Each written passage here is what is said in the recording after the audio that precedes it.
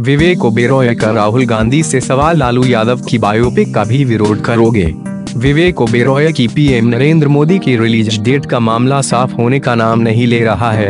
अब खबर है कि फ़िल्म 11 अप्रैल को रिलीज़ होने जा रही है। लेकिन इस बीच विवेक भी फ़िल्म को मिल रहे विरोध पर अपनी बयानबाजी कम करने का नाम नहीं ले रहे हैं। अब विवेक ने ट्विटर के ज़रिए राहुल गांधी से सवाल पूछा है। विवेक ने ट्विटर पर लिखा, प्रिय राहुल गांधी, क्या सोमवार की सुबह आप मानिए सुप्रीम कोर्ट में अपने गठबंधन में शामिल पार्टी के नेता लालू प्रसाद यादव की बायोपिक पर रोक लगाने की कोशिश करेंगे? या ये केवल हमारी फ़िल्म है जिसके पीछे आप बढ़ गए हैं? क्या है हिपोक्रेसी नहीं है? बता दें कि विवेक की फ़िल्म पहले 12 अप्रैल को रिलीज़ हो रही थी। इसके बाद फ़िल्म की रिलीज़ 5 अप्रैल को खिसकाते हुए मेकर्स ने दावा किया कि पब्लिक डिमांड पर ऐसा हो रहा है। लेकिन अब यही रिलीज़ डेट खिसकते खिसकते 11 अप्रैल हो गई।